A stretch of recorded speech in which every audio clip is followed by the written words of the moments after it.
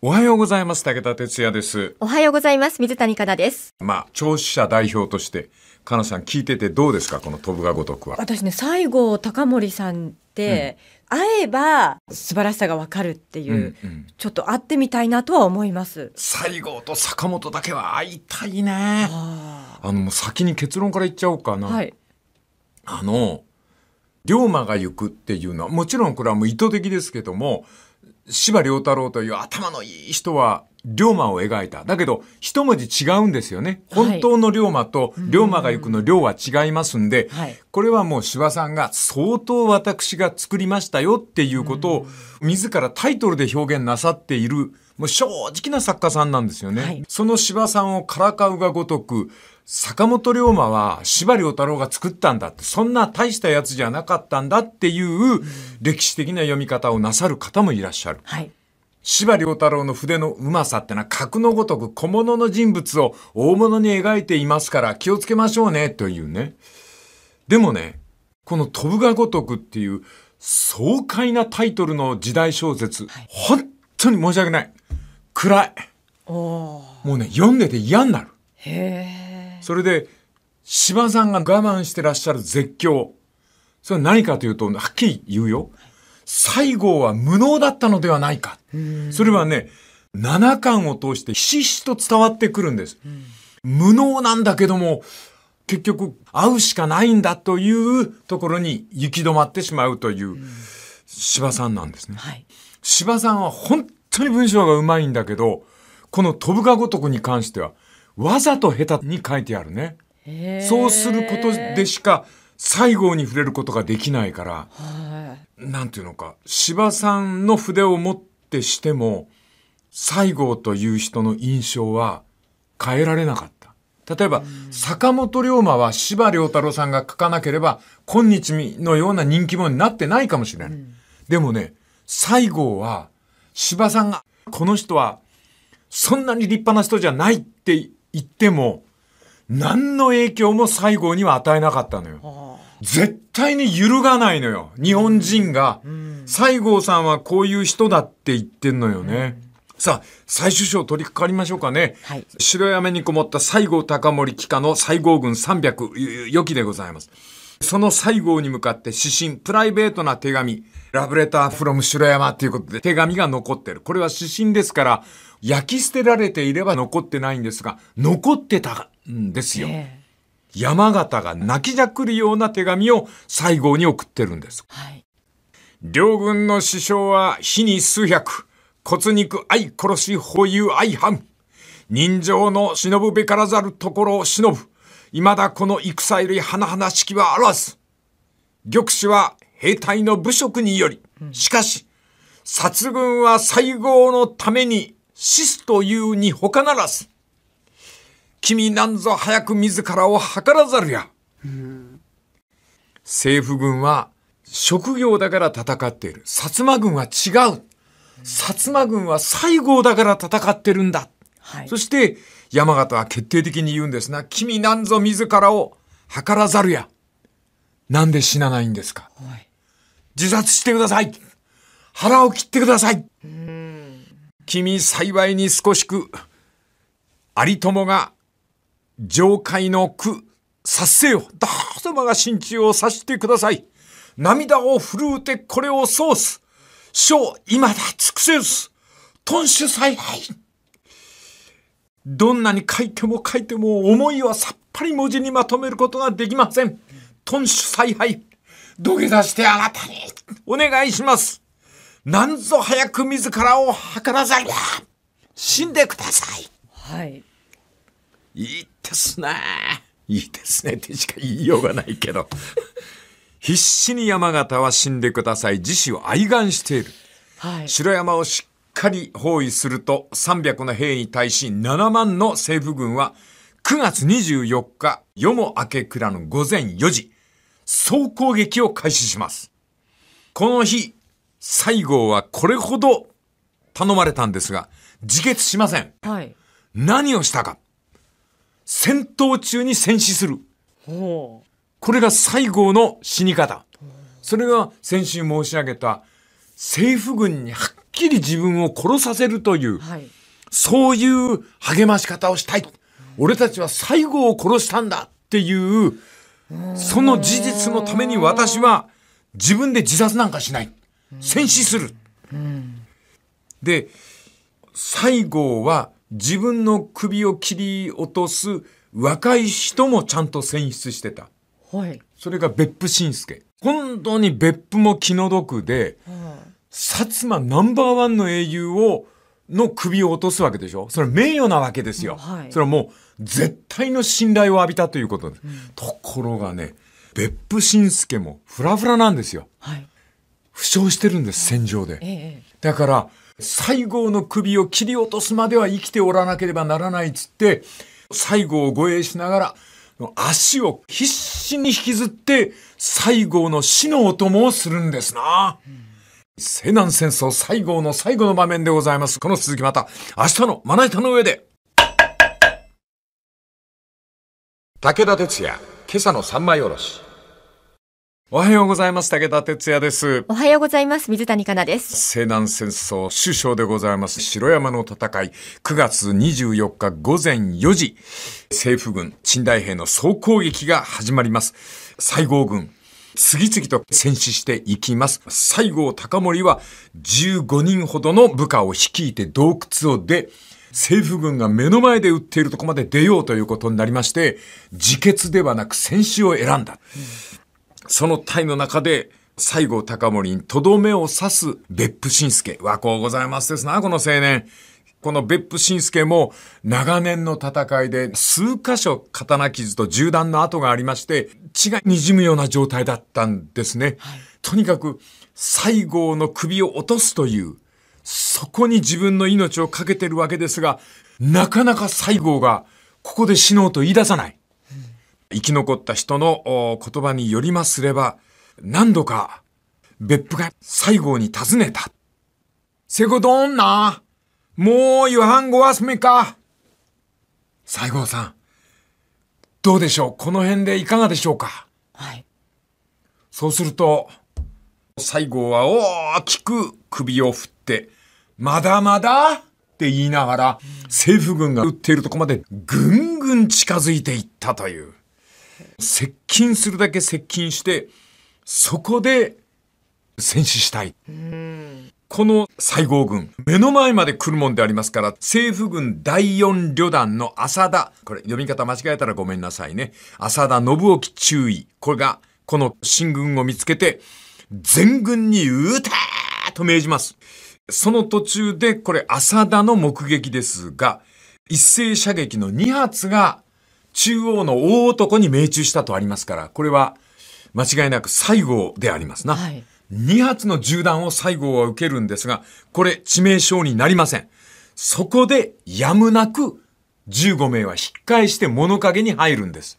この時に、これも目撃者、生き残った人が何名かこの15名の中におりますんで、西郷さんの最後の場面は、目撃の言葉があるんですな。はい。それは、物陰に入り込むと、別府晋介に向かって、新どん、もうここでよか。さらりと言い置いたという。別府は解釈という栄誉に声を弾ませ、西郷の後ろにゆっくり回り、自分の命が持ったことも充実感になったんでしょうな。M がごとく、ごめんなってたもんせ。一言挨拶を浴びると白人一戦。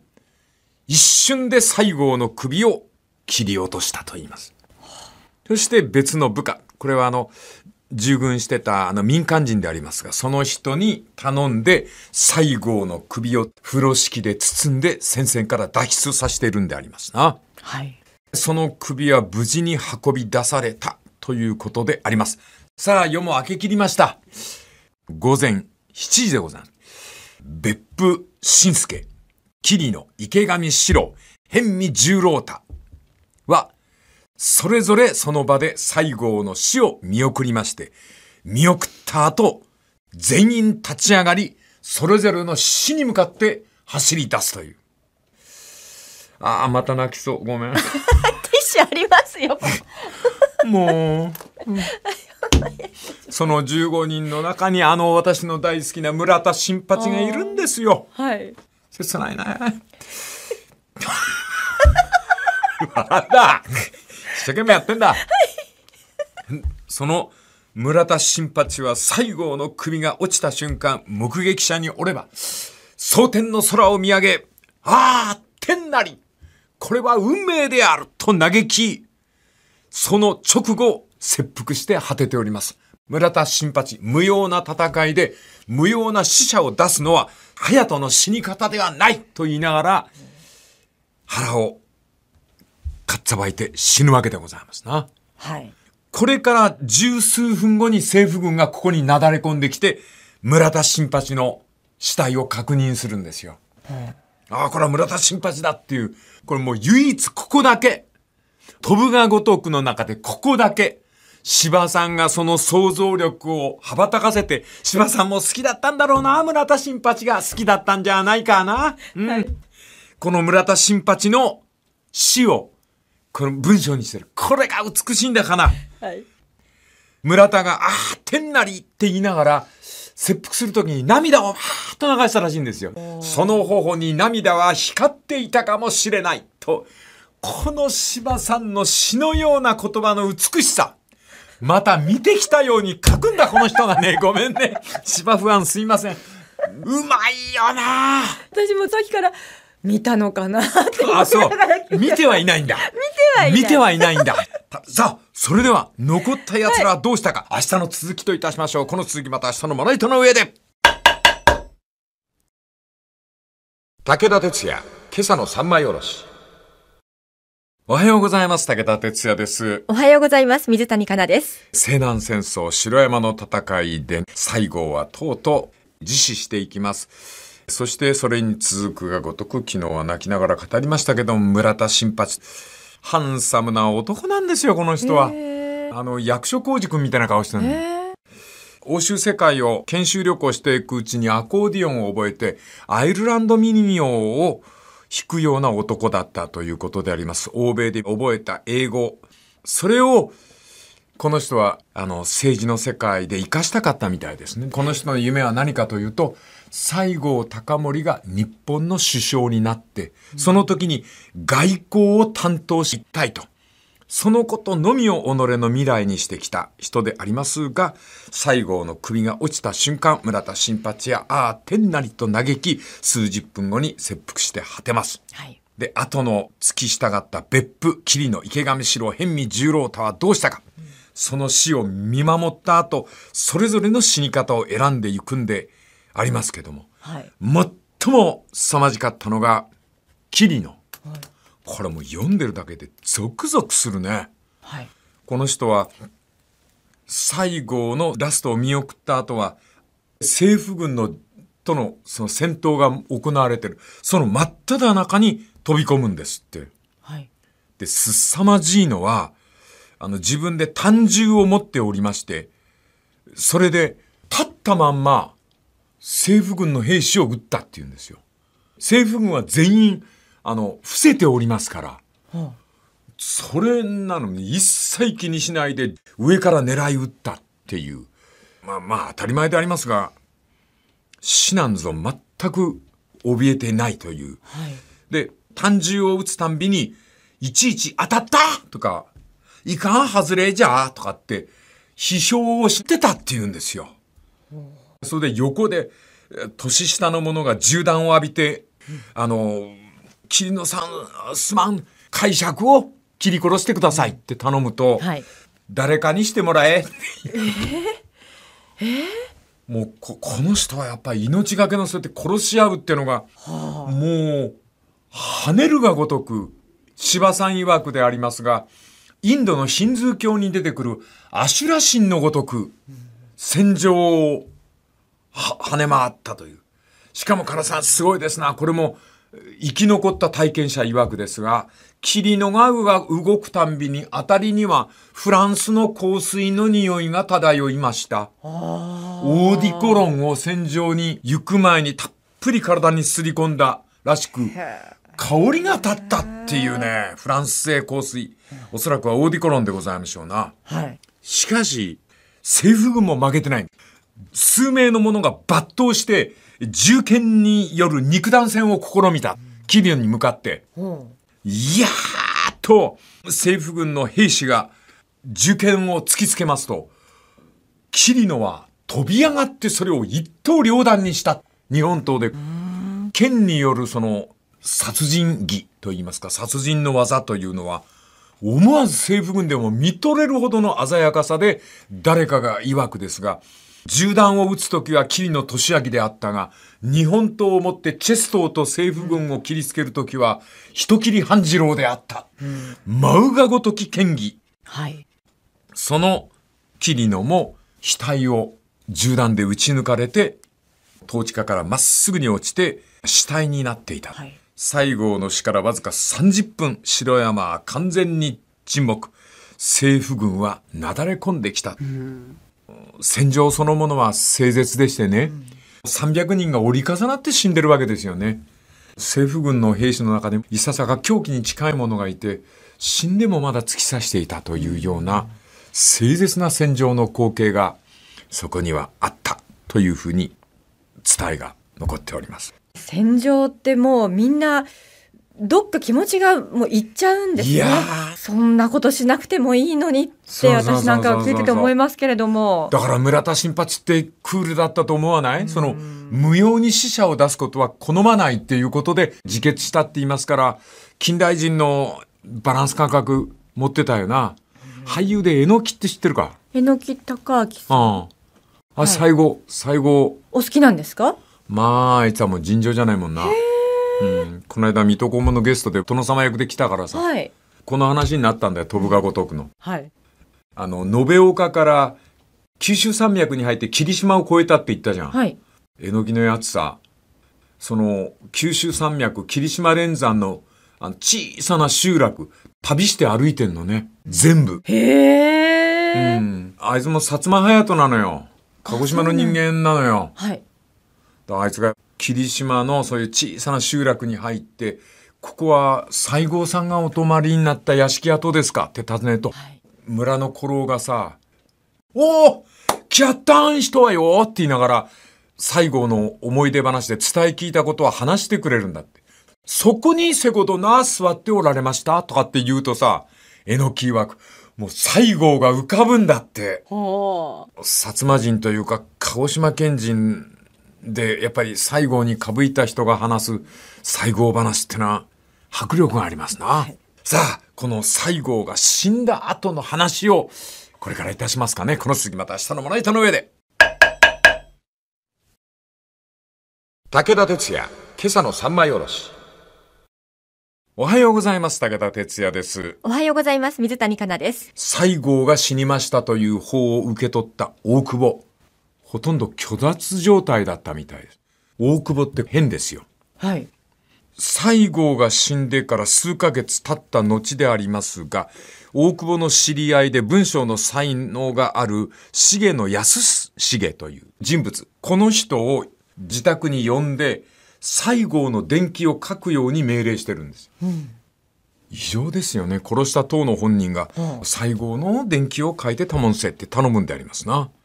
その席で、いかに西郷と仲が良かったかを大久保は語り続けたらしいですよ。ほ西郷が死にたがるのを自分が、あんたが死になったら俺も死によって、消灯を二人で振り回したことがあるんだとか、最後んちゃお母さんが優しくてよが食う飯がなく、黙って並ぶと黙って出してくれたさ、とかって、今ちょっと沖縄なまりが入りましたけど。まあいいや。そ、そういうのを、どれほどの親友であったかをしきりに周りの者に話した。うはいまた実の弟の西郷嗣道、あるいはいとこの大山岩尾、後に活躍するえ軍人、政治家なんでありますが、このお二人も西郷隆盛が死んだことにより、虚脱の人となり、職を辞したいと大久保に泣いて頼んだという。大久保は必死になって止めているんですね。柴さんは書きます西郷の死後、すべての権力はこの大久保に集中した。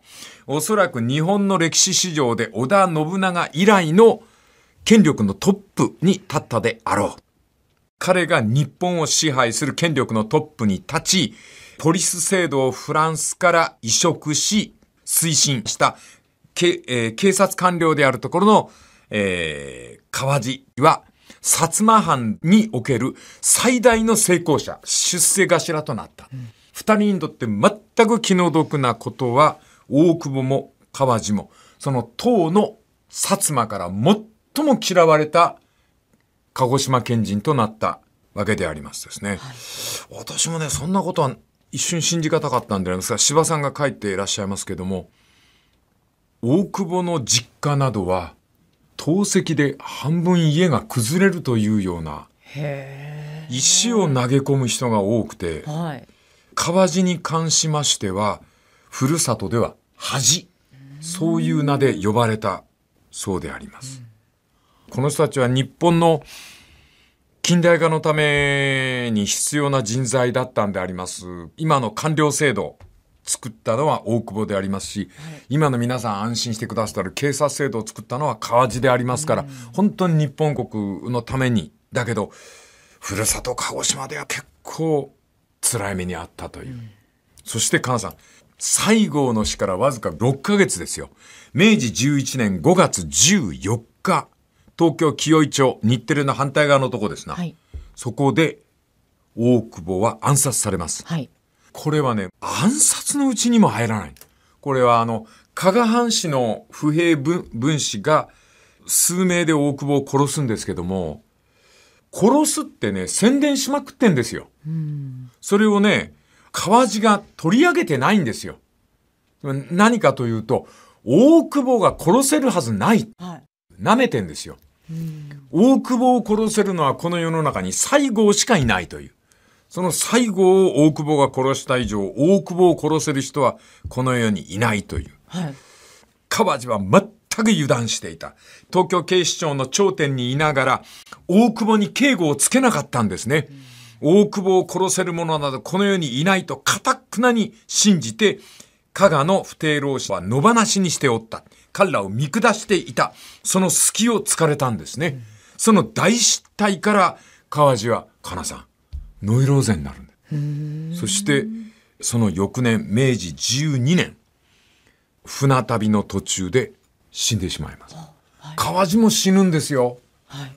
すっごいですね。一部では、川路は毒殺されたんじゃないかと、薩摩の人間に。もで、もう一つの説がですね、こんなことはないと思いますが、川路の枕元に亡霊の西郷隆盛が立って呪い殺したという、そういう説があって、錦絵になったりしてますよね。ああ、そうなんですか。なってますへえ。この時にあの、金星かなんかの大接近があるんですよね。西郷が死んだ翌年かなんかに、金星大接近がある。その星のことを西郷星って呼んだのよ。西郷隆盛の無念が日本に現れたっつってね。はあええこの川路の死をもって西南戦争というのはすっかり過去の歴史になってしまいます。このエピソードを最後にして、飛ぶが如く全7巻は終了するんでありますが、柴さんの7巻まで書き終わった一文が、実に深々とした一文であります。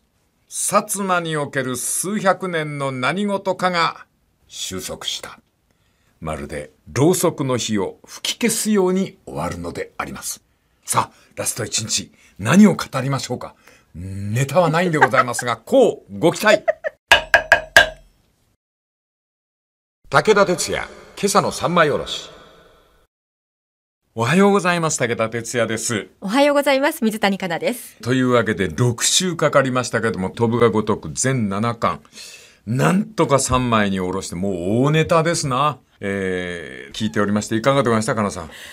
あのもったいない命が無駄になくなっちゃったんだなっていう、ね生きてたらまた今の日本違ったんだなって思いますね。ね。はいあの、日本の初代宰相が西郷隆盛っていうのは、どんな国になってたんでしょうね、日本はね。ねそれから、あの、よく言われるのは、竹地半平太も最小候補だったみたいですね。はい。土佐の金王島のあの龍馬の親友の竹地ね、が草加玄瑞、この辺りが日本の最小になっていれば、司さんがね、この飛ぶが如くの中で、こう文章にこう紛れ込ませるように、いくつかのことを書いてらっしゃいます。はい、その中で、私はギクッとしたんですが、この西南戦争における西郷に対するひいき、うん、そういうものが日本の政府批判の定流になっている。はい。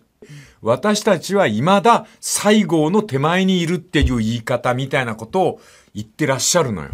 それは哲也さんが行間から読んで読んだ。だけど、柴さんがはっきりおっしゃってるのは、はい、明治の十西南戦争の前の東京の新聞。これまだそんなに発行部数もないんだけど、相当いい加減なのよ。よく調べずに平気で書いてんの。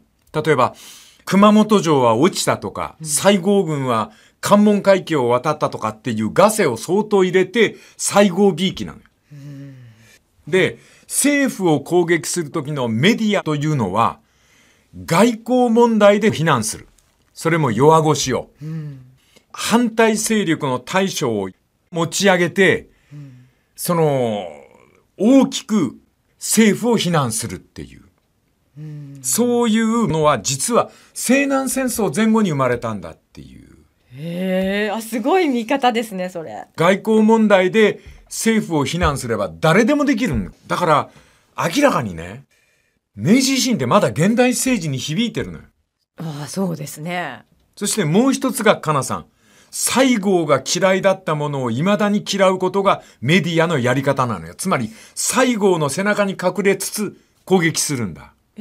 西郷は何を嫌っていたか。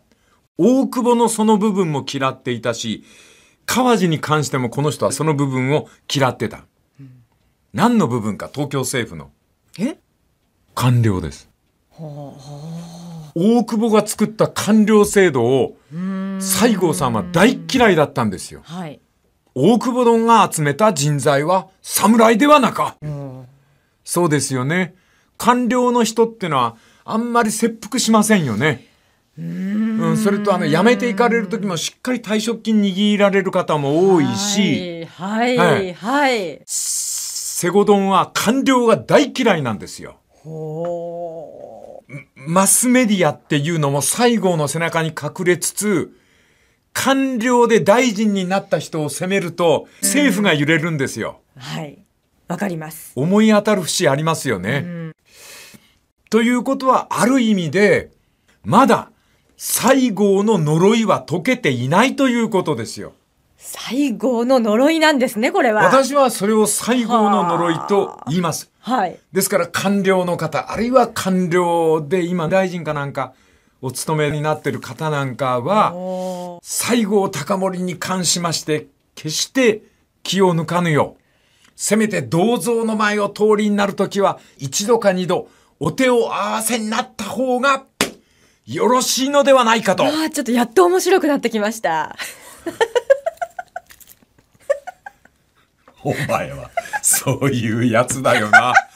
俺は6週喋ったんだぞ最後の1分間で、やっと、おめえ。最後の呪いだったと思わない。でもそう思うと。いや、なるほどなと今思いました。すっごいわかりやすいよね。ええ飛ぶが如くという爽快なタイトルでありますが、これは芝作品の中でも実に暗い政治劇を元にした小説であります。